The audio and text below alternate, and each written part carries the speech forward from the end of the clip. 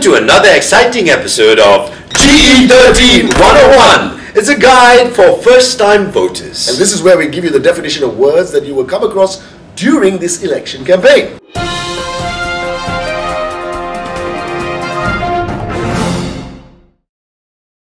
Today's question is what is indelible ink? Now, it is an ink mark that cannot be removed for a short period of time.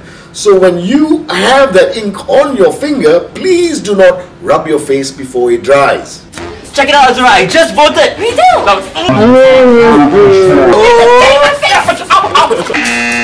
Scratch your head before it dries. Try tasting it. Before it dries.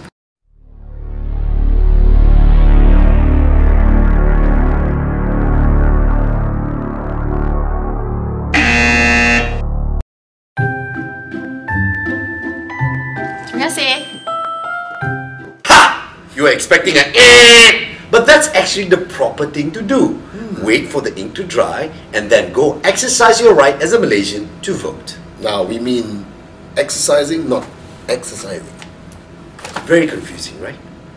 This has been another exciting episode for GE13 101. Join us again for the next exciting episode. No episode. more already. Oh, finish?